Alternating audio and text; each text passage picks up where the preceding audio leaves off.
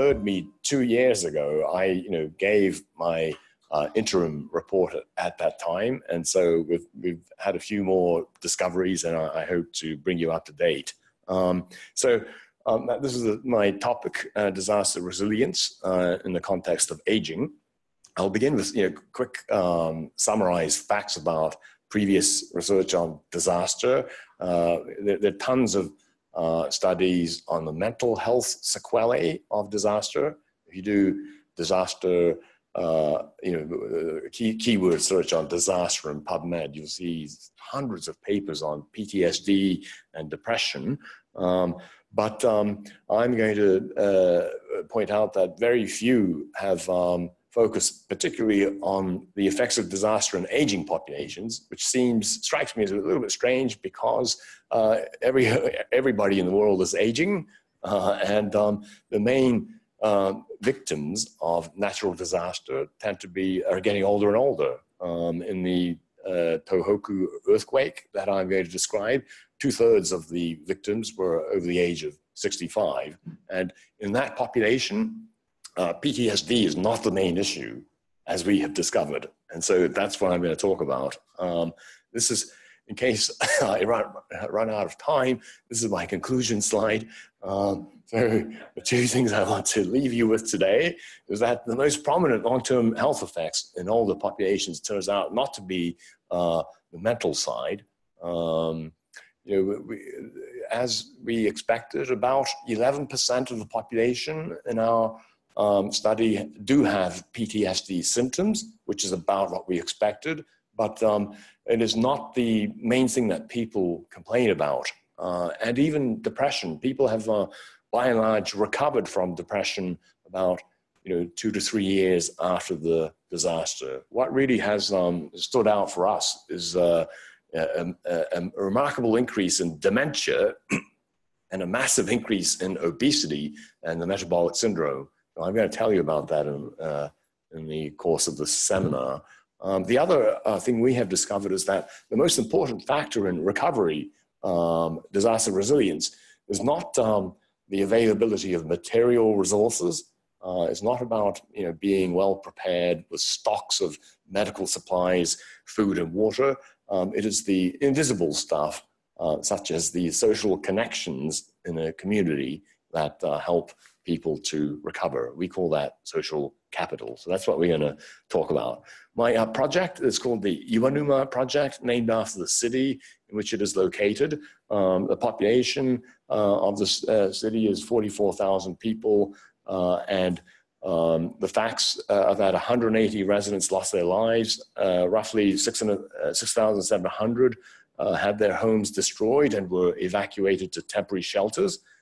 and um, we had the um, we had the by, by, by pure coincidence uh, seven months before the disaster we uh, happened to uh, have taken a complete census of all of the all the residents in this city. Um, we had established the baseline uh, for a nationwide cohort of healthy aging actually. And uh, we, we measured everything about these people their lifestyles their health status, their community, social capital, etc. And then seven months after we established the baseline, the tsunami struck, uh, and um, the um, uh, we had this therefore unusual situation of a cohort where uh, we have information about everybody before disaster struck, and then we are able to follow them afterwards to see what predicts um, uh, health outcomes when people are exposed to a major event like this.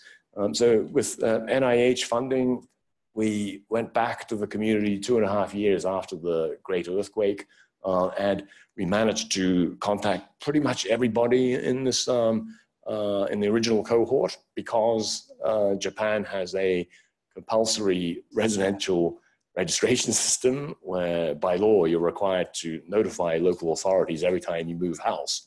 And um, and that enabled us to uh, find everybody um, except for 17 people. That's why that's the 0.3% that's missing. We don't know where they went to. They, they didn't pass away, um, but they moved somewhere that we can't find them. But pretty good. I think you'd agree. So um, this is the uh, uh, project.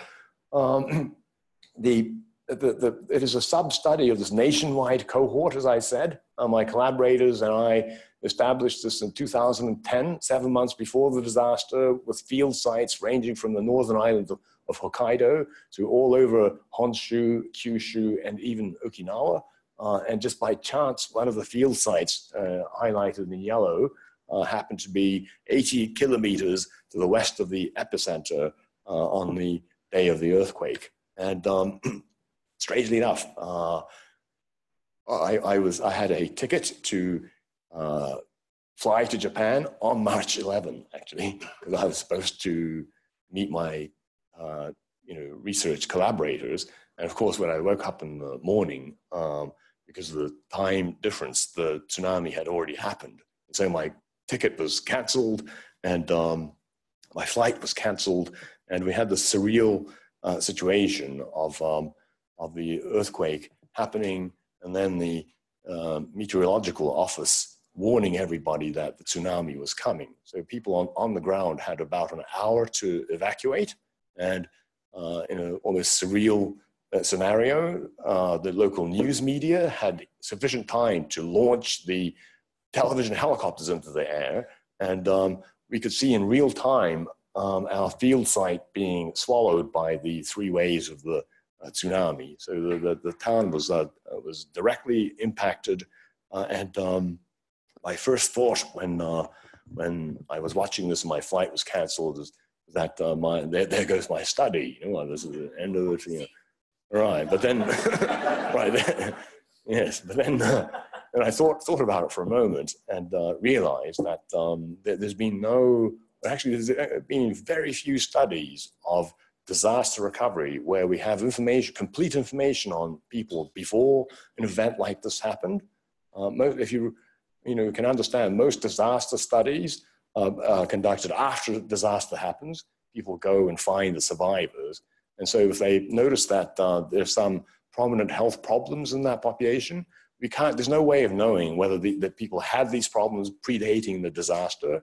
Um, you can ask, you know, disaster survivors about what were conditions like, you know, before the disaster, but we know that that's colored by recall bias. So we have this you know, rather unusual um, setup.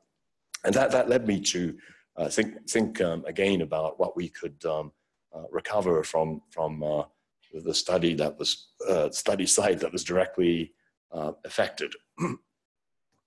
so you know, two days after the um, earthquake, the planes were flying again, and I really, you know, I thought about whether I should really go or not. And then uh, when I called my collaborators, they said, "Oh yes, it's okay. You know, we're, we're back online again. Please come." So I flew to Tokyo, and then uh, the morning after I arrived, I from jet lag. It was you know five o'clock in the morning. I turned on the news news uh, uh for that morning, and uh, the first thing that was on the news was the explosion of the Fukushima nuclear plant. You know?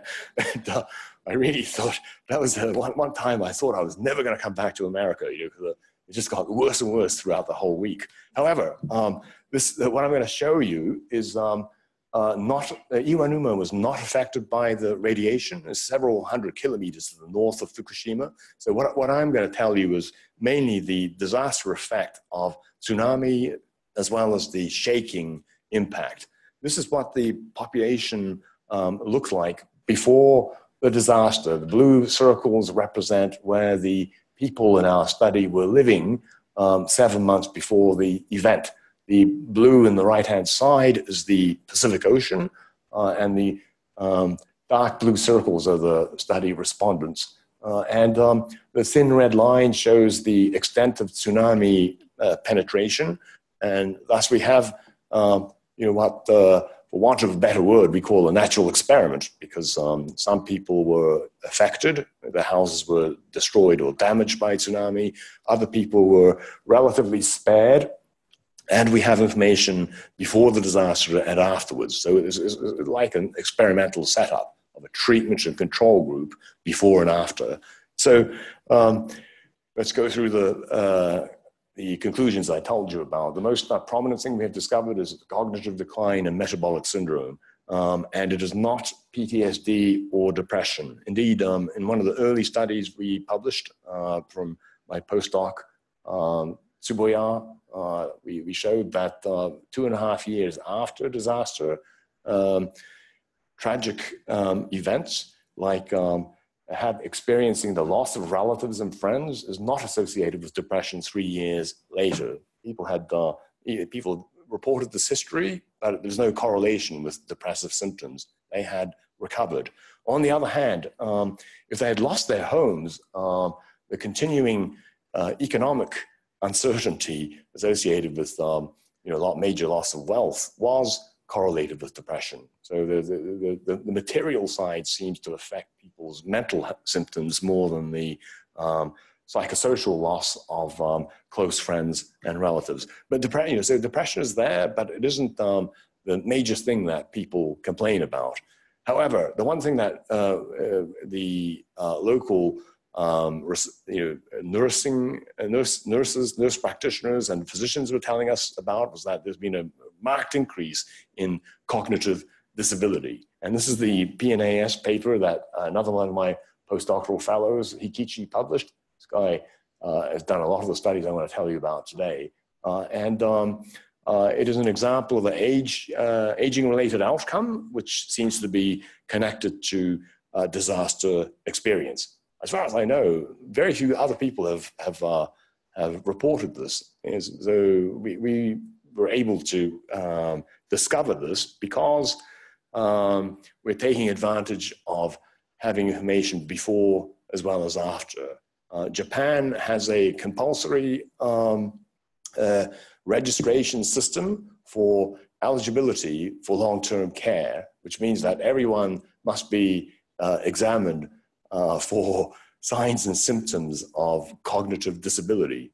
Uh, they send uh, people into people's homes and um, they conduct an in-home investigation, and there's like you know, cognitive testing by trained um, uh, personnel using a standardized pr protocol.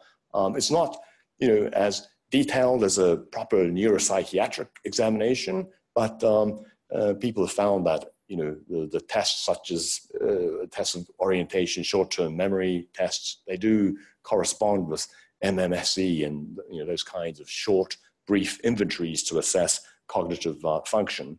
Uh, and then the results are later um, reviewed and certified by uh, a municipal committee, including physicians, and you know, people are given a grade in terms of um, their cognitive functioning, which will uh, enable them to later on access um, various long-term care services like home help, meals on wheels, you know, helpers who come to the homes and so forth.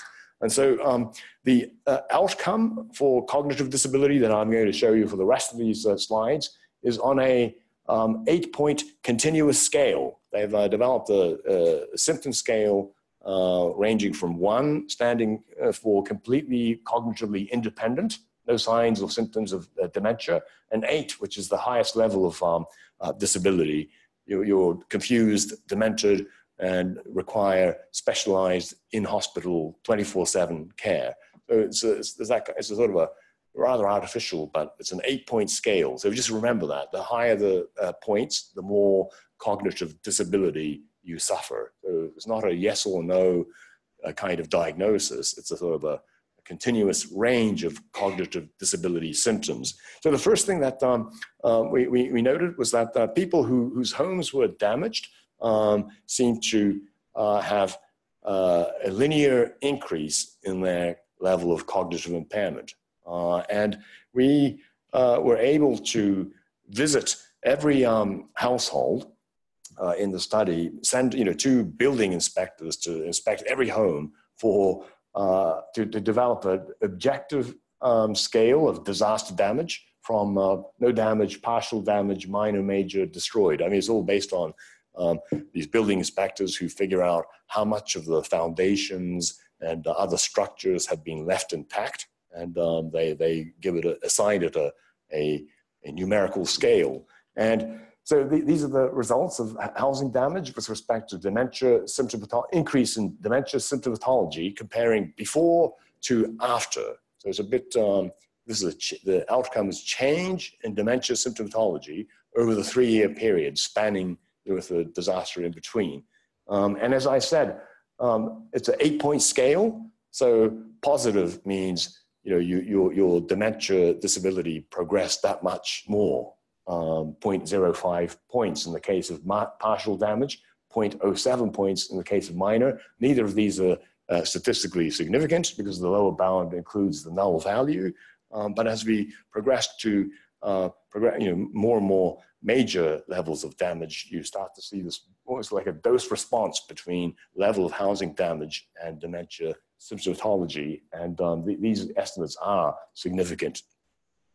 To put it into these numbers into context, um, the oldest old person in this cohort, if you're 90 years old in this, in this cohort before the disaster, um, they progressed on average about 0.3 points, 0.3 points on the dementia scale over the three year time period. So imagine someone who's like 90 years old, uh, high at risk of uh, you know, uh, losing their cognitive function.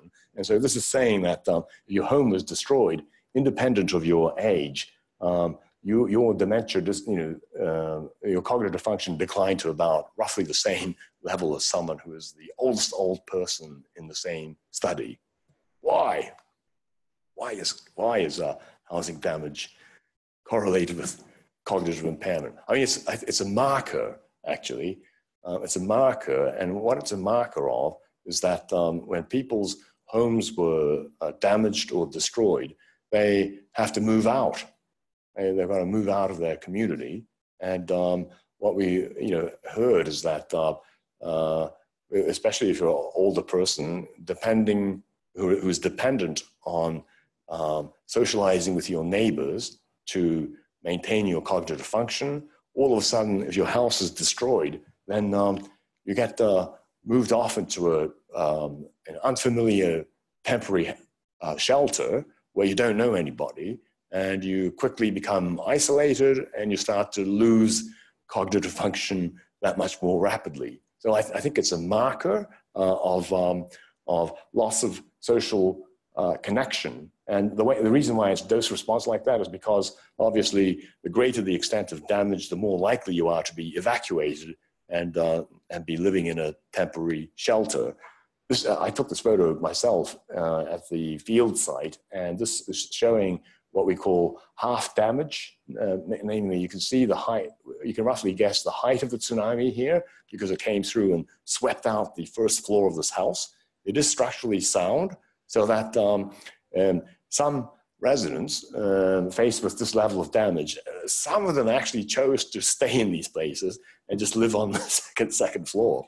Uh, there's no, you know, electricity is likely to be cut off, water, so they were, you know, living on propane gas burners or something. But then um, if, if you had this kind of damage, you're that much more likely to, you know, voluntarily evacuate to a temporary shelter. So I, I think the housing damage is a, is a sort of a good risk marker for people being displaced. And if you're elderly, of um, losing connection to your neighbors and friends in your original communities. So um, um, uh, uh you would recall from uh, uh, from news reports of this disaster, immediately after disaster, you know, people who lost their homes, they get herded into uh, emergency, emergency, emergency shelters. you know, this this one was uh, from Iwanuma in a local high school gymnasium, very crowded, stressful living circumstances, very little privacy, you know, one toilet for, you know, 30, 40 people, um, communal cooking. Everyone's, you know, really, uh, really itching to get out of the situation. And what they're all waiting for is to uh, be eligible to move into one of these trailer homes. You know, they're converted container homes they seem very basic, but um, still, in most disaster jurisdictions, it, it, takes up to eight months for local authorities to get it together to, to, to provide these uh, FEMA-style trailer homes to um, evacuees. So every, everyone's in this situation, trying to get into this situation. And um, one of the things that um, we discovered when we were, uh, one of our team members was conducting a qualitative study of um, people in our um, cohort was that um, when they moved from the emergency shelter to the temporary homes, uh, apparently the city did it in two different ways. Uh, residents were given a choice as to move into the temporary shelter uh, by random lottery or as part of a group.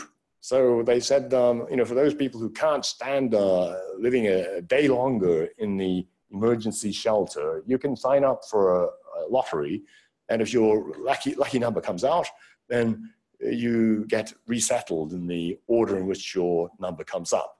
Of course, that has the effect of speeding up your escape from the emergency shelter, but it also speeds up. It also means that um, by almost by design, it uh, breaks up social connections because you're now going to be settled amongst um, strangers. Whereas other people um, selected to uh, this option, which is I said, nobody in our, our, community is going to move unless we can do it together. So it, that meant um, they had to stay in the shelters uh, that much longer until enough units could be, could be provided for everyone to move together. Um, so the downside of that um, strategy is you, you're stuck in the shelters for longer, but the upside is you uh, do get to preserve your social connections that much longer. And we, we, we studied this formally um, in an article published in Science Advances, uh, where we, we took advantage of the fact that we asked about social connectedness before the disaster and afterwards. Right? So we have um, two measures of um, what I call social capital. That is uh, social cohesion and social participation. Cohesion is a, you know, a questionnaire. It's a, a, scale that's, that asks people um, you know, how much uh, do you uh, do your neighbors help each other? Uh, how, how much do you trust your neighbors? And um, how attached do you feel with uh, to, to your community? So it's a sort of a cognitive appraisal of how cohesive they think their community is. And then um, the participation is a is a multi-item scale made up of uh, the extent to which people um, informally socialize with their friends, their neighbors, and they participate in community groups. So remember, this is a this is a pre and post uh, difference that I'm summarizing here qualitatively. We showed in the study that those people who uh, relocated by lottery uh, had a, a, decline in both both of these both these forms of social capital. Um, uh, this method of relocation uh, speeds up escaping from the shelter, but it destroys social capital. By contrast, uh, those who relocated as a group um, had no change in their reported levels of cohesion, uh, but they even had a slightly increase in participation after they moved into the temporary shelters. This, I think, is a policy implication. And um, when we published this study in uh, Science Advance, uh, it came out in July 2017, which is literally the same month that Hurricane Sandy uh, inundated Houston, actually, and we got called by the Houston mayor's office saying, We just read your study. Do you advise us to uh, relocate the residents who were struck by flooding uh, by group relocation? And we said, Our answer was, Yes, you should. you should not uh, do the random approach.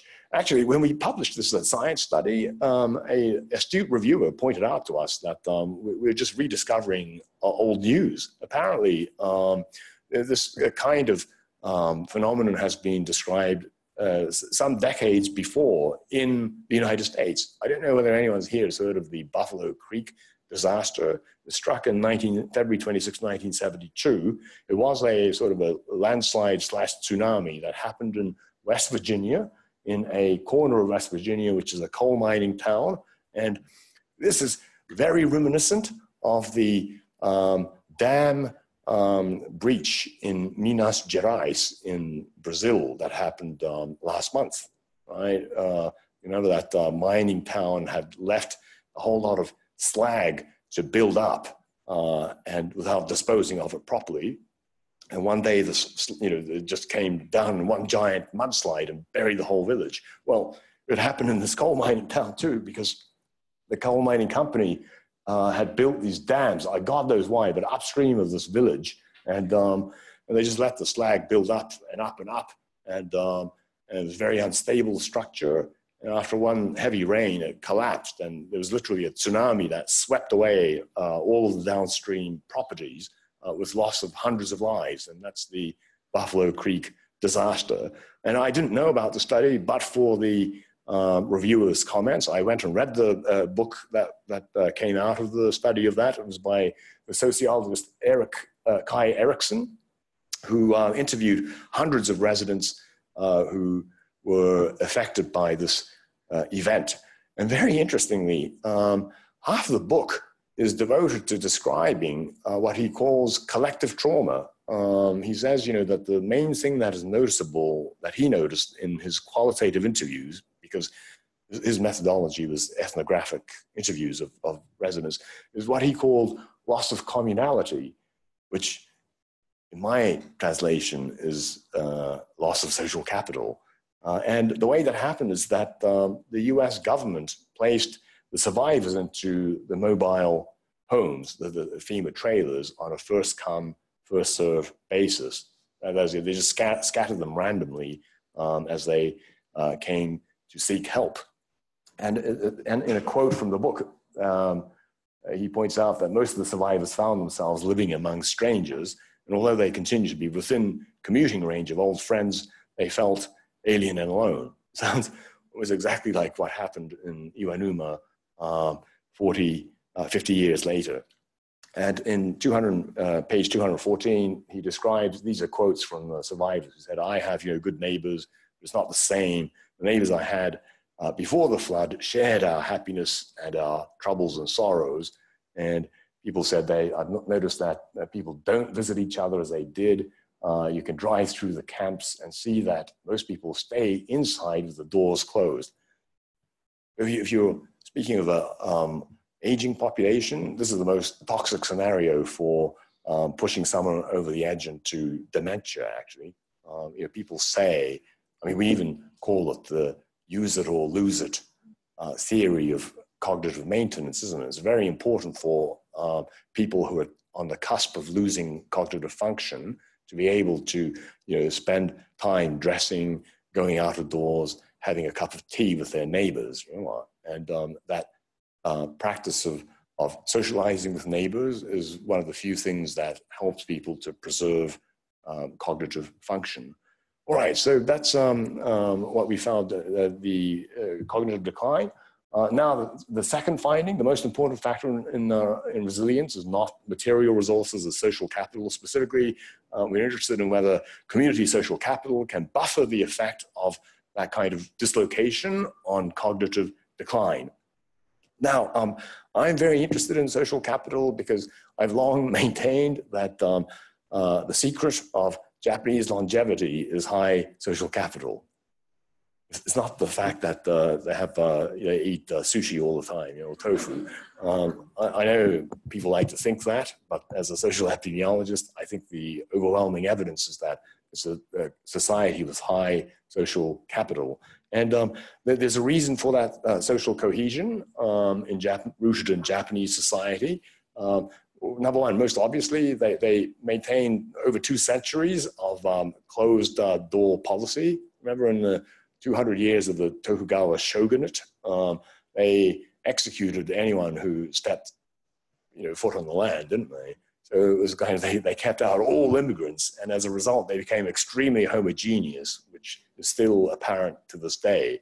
I'm not saying it's a good thing, but um, it is, you know, it is almost uh, when you have a really homogeneous society, then um, um, that's one basis where people, you know, can uh, have developed high levels of, um, of trust and um, uh, mutual regard. They have to, everyone has to survive minding uh, other people. The other reason that Japan has high uh, cohesion, in my view, is because it is a rice growing culture. We call it Inasaku Bunka, um, rice uh, living studies, believe it or not, uh, suggest that growing rice as opposed to growing wheat um, encourages social cohesion. Why? Because because if you've ever worked in a rice paddy, uh, my, my grandparents were rice farmers, you with a rice paddy, you have to cooperate with your neighbors because um, you know, rice growing requires a lot of water. I mean, the, the rice plants are flooded half of the year. And uh, that means that uh, everybody has to figure out how to allocate the water amongst the farmers in the village. You recall, you know, Elinor Ostrom um, who won the Nobel Prize for uh, introducing social capital to economics. Her case studies were based on social capital in rice farms, you know. And um, so it, is, it really is a, I think that's these two reasons uh, make Japan a rather interesting case in um, studying the effects of social cohesion and social capital. I, I used to argue this purely on the basis of uh, intuition, but someone published a paper just last year in JPSP, which is, I understand, is the you know New England Journal of Social Psychology, is the top journal, social psych, and uh, uh, in this uh, paper, a team from Kyoto University used multi-level analysis to um, uh, put to the test whether uh, farming communities are characterized by high cohesion and social participation. So they did a multi-level study, and yes, they do find that the higher the proportion of farmers living in the community, the higher the social cohesion, even to this day. And that applies even amongst people who are non-farmers. If you're a non-farmer, living in a community surrounded by other farmers, apparently, um, you know, people on average express higher levels of, um, um, of social cohesion as well as participation. And when you think about uh, Japanese culture, um, you know, uh, these, these people say the basis of social cohesion in Japanese society today are the local festivals. Uh, is a bit like the carnival in Brazil, where whole neighborhoods you know spend the entire year planning for that one event. And these events are all, if you trace their history, they're, they're based based on harvest festivals, actually, planting festivals or harvest festivals. And so farming again is the basis for the strong uh, participation and cohesion in uh, many Japanese localities. So the way, way we measure social capital, as I said, is, is through these two um, subscales, which we have validated. Um, participation is one, one subscale, uh, which is about meeting with friends, informal socializing, uh, participation in um, civic groups of uh, different kinds. And then cohesion is a sort of more perceptual, uh, cognitive dimension about the extent to which people say they trust their neighbors, their neighbors help each other, and the extent to which they feel attached to their community. And so these are the two uh, social capital uh, subdimensions that we're studying. And in order to answer the question, does community social capital buffer the effect of dislocation on uh, dementia. Um, we're going to put it all into a multi-level model. Um, our models have a three-level structure. Uh, at level one is the time. You see that um, every individual has two measurements before the disaster and, and afterwards. Actually, we're, we're, we're now up to three um, dimensions, and later this year we'll go up to four. But uh, uh, at the time we wrote the study, we had before and after. So two, two measurements of social cohesion and cognitive uh, function. And um, these two measurements are nested at level two amongst um, individuals in our study. And these individuals are in turn nested in communities. Okay, so it's a three level structure time nested in individuals, nested in communities. There are 99 communities in our study. How do we define community? Well, um, the local uh, city authority did it for us because um, prior to the disaster, they just drew a line and said, "You're you're one cluster. We're going to call you a community." And um, and people living there were encouraged to conduct um, disaster preparedness activities, like uh, pretending that this is not uh, this is not a picture of an actual uh, afterwards. This is a, a disaster preparedness uh, activity hap- that happened before the earthquake, where people are pretending to feed large masses of displaced people. But you know, we thought because they were organized in uh, at that le- administrative level, that it would be a reasonable definition of a community in our multi-level studies. So on to the results. Um, this gets a bit wonkish, but um, we in multi-level we start with a null model an empty model where we're just trying to understand variation in the cognitive um, uh, the outcome here is cognitive disability. Remember, on the eight point scale, one to eight, one being fully independent, eight being you know completely uh, uh, hospitalized, deserving of, of 24 hour care. And uh, in the empty model, we, we, we show uh, what we expect, which is uh, about 6% of variance in cognitive function is at the community level, 43% at the individual level, the remainder soaked up by the time dimension. So in model one, we just have individual level um, predictors of cognitive decline. This 0.05 is simply repeating what I already showed earlier, which is that uh, on a five point scale of housing damage, the, the greater the housing damage, the more uh, your dementia is likely to have progressed. That's what that positive 0.05 means. I already showed you that uh, 10 slides ago. It is significant. But um, in, in addition to uh, uh, having this variable in the model, social cohesion and participation are protective. So they're protective in the opposite direction. Uh, individuals who say they belong to a, a cohesive uh, neighborhood or they participated with uh, neighbors uh, were significantly less likely to be uh, impacted by cognitive disability um, in this sample. And these are adjusting for you know, quite a, a few covariates that um, you know, obvious uh, could be confounders. Some of them might be mediators.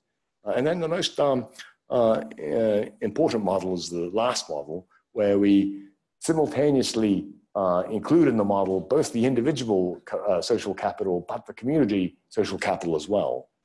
What do I mean by community social capital? So in the multi-level uh, the individual social capital is what we measured at the bottom level, one, two, one, two, one, two.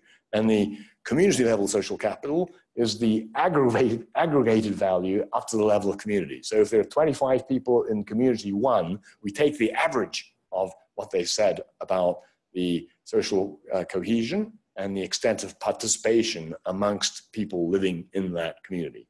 Get it? So, so one is about the individual, the other is about the communities in which people live. And in this multi-level model, what we see is that um, net of individual um, uh, social capital, community cohesion, participation are also strongly protective of um, uh, deterioration in cognitive uh, functioning.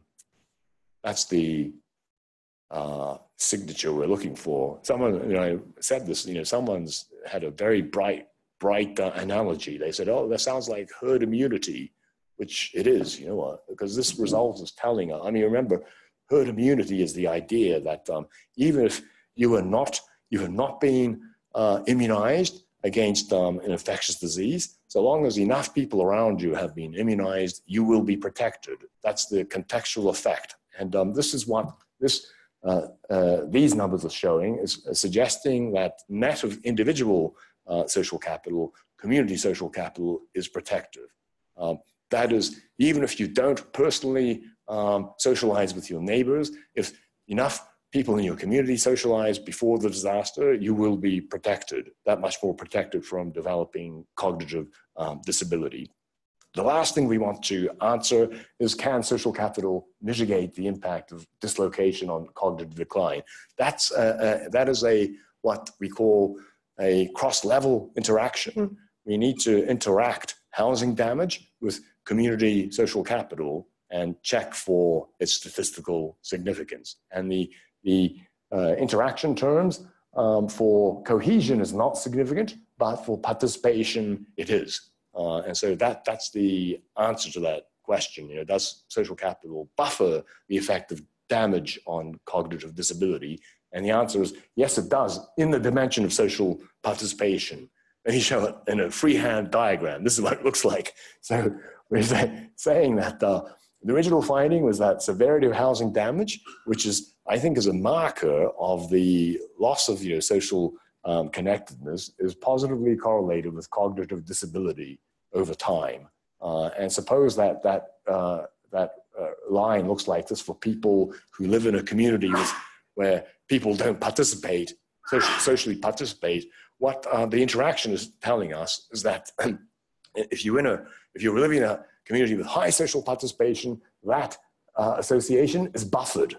It's buffered. You have, uh, you're protected to some extent by the fact that uh, your neighbors participate with each other and, um, and you're probably benefiting in some ways. I mean, I think, you know, if you think about this concretely, I think it means, for example, that if you live in a community where people connect to each other, um, you know, lots of social connection, even though you might be a kind of a socially isolated type of person, it's likely that your neighbors might come knock on your door and, and uh, encourage you to come out, and um, therefore you end up participating without you know, willy nilly.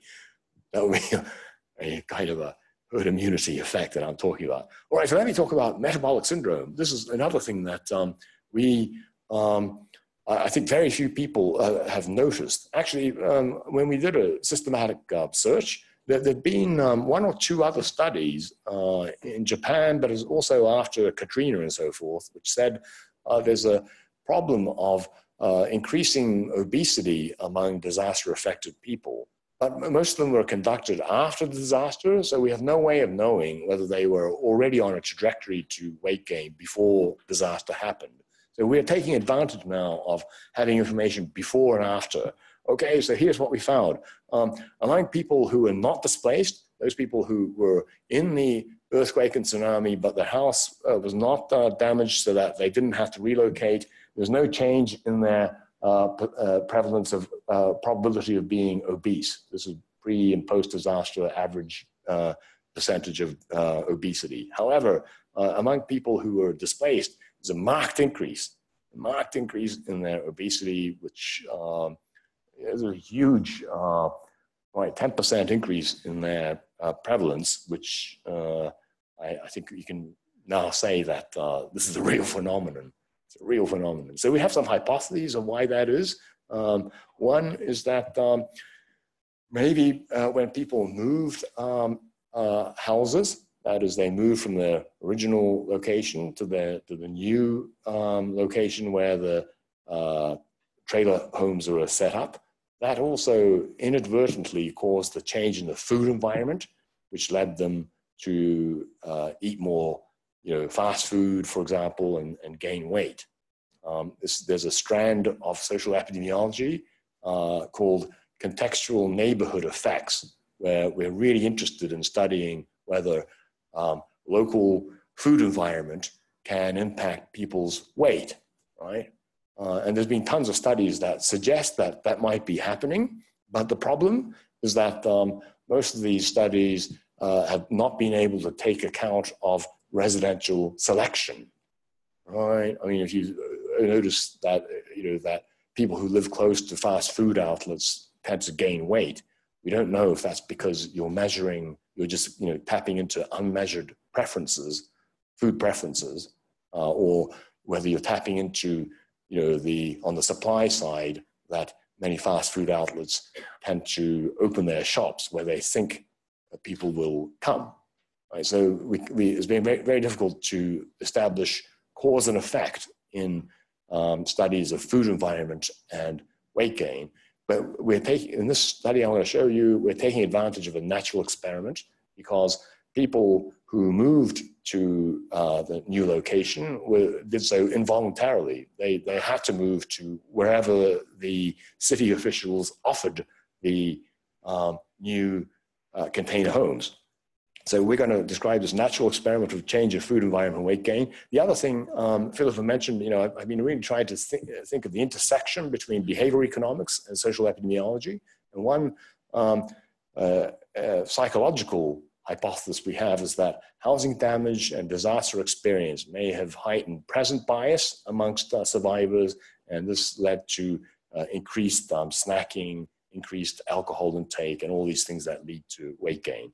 Let me take this one at a time. So um, we're, we're, interested in the Japanese context on um, uh, you know food environment as measured by distance to the closest uh, calorie-rich fast food outlets. And in the Japanese context, these are all the things that I like to eat, actually, but uh, ramen uh, and beef bowl. This is the okonomiyaki, hamburger shop, pizza shop. Uh, and so um, my, my postdoc basically got all of the address. Oh, so I got all the address records um, before and after the disaster, and we could find out exactly where all the bars and fast food outlets and convenience stores were before and after the disaster. Uh, and um, this red hatched area is showing that um, if you live close to the coast, uh, you're more likely to have housing damage and therefore be relocated. And you can see that people whose homes were damaged were rather far from um, uh, from the fast food outlets. But after the disaster, the city decided to relocate uh, the people marked by the spot X. you know, they figured uh, let's move them close to the city center where um, there's, you know, it's convenient to hospitals and clinics, but it also happened to be much closer to uh, fast food outlets. So we, have shown, for example, that um, when you measure using uh, GIS road networks, uh, this is a change in percent of residents living within 500 meters of nearest fast food shop. No, no significant difference among people who weren't displaced, but a huge difference, massive difference um, amongst people who were displaced. Uh, pre-disaster, not many, but then a huge increase as they moved closer to the city center. Same with the change in residents of um, bars. No um, difference between people who weren't displaced, big increase amongst uh, people uh, who were displaced. And so we can take advantage of that to do sort of a, a change on change analysis. You know, does a change in distance to the nearest um, outlet uh, predict a change in BMI? And these odds ratios are significant. They do. Um, so this, uh, you know, is a sort of a spin-off of the study is, is providing a natural experiment on food environment change in relation to BMI. Now the behavior economics part, I have you know five minutes. Um, so uh, I'm very interested in the behavioral economics concept of scarcity. Um, a there's a um, strand of um, emerging strand of behavior economics theory which says that uh, when people experience any kind of scarcity, it heightens present bias, and uh, present bias in turn is associated with um, all kinds of um, uh, adverse health behaviors, which might explain why they might gain weight. Uh, people may have read the book Scarcity by Mullainathan and Shafir, two, two Harvard uh, behavior economists. They, they you know, call it the psychology of poverty. Um, and um, they say, you know, scarcity is a condition that is associated with an uncertain environmental context. If you're poor, you don't know when your next meal is going to come from, um, and uh, that creates uncertainty. And that um, uncertainty imposes a bandwidth tax on our ability to plan for the future.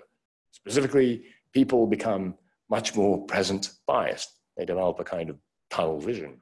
And um, very, you know, the point of this book is that none of us are born that way. Uh, and you can induce scarcity, and people rapidly develop that, those set of behavioral responses. Um, classic example would be the marshmallow test, isn't it? You know, you know so the marshmallow test is measuring um, patience and um, in the you know in a twist on the marshmallow experiment, experiment if you do this experiment with an un, unreliable experimenter, an experimenter who says, "I'm going to come back, you know, in a few minutes, and if you wait, I'll give you two marshmallows," but you know, you've already you can do this so that you randomize the kids to an experimenter who's obviously unreliable. He sort of promises stuff to kids that he doesn't uh, follow through on. If faced with that uncertain context, kids suddenly become much more impatient much more, they're much more likely to ring the bell and say, I want to eat the marshmallow right now.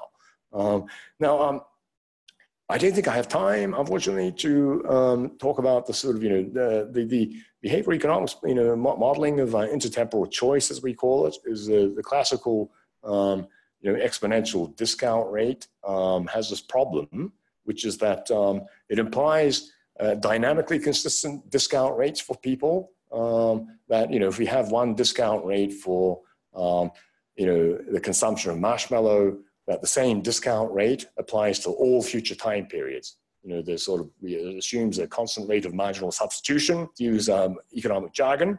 Uh, and um, that, there's a problem with that exponential model, which behavior economists have noticed, which is that people do not have constant rate of marginal substitution. We don't apply the same discount rate to all future time periods. Now versus later is not the same as later compared to even later. it sounds very odd, but uh, we can do a very simple experiment in this classroom. Oh, there's a you know, seminar room. If I said, you know, which would you choose? Um, if I gave you a scenario, like, like, you know, if you come back to this uh, lecture theater next year on this date, uh, you will receive $100 or um, you can choose to wait a year and one month and receive $120. Given that choice, how many people would um, opt for $100 one year from now?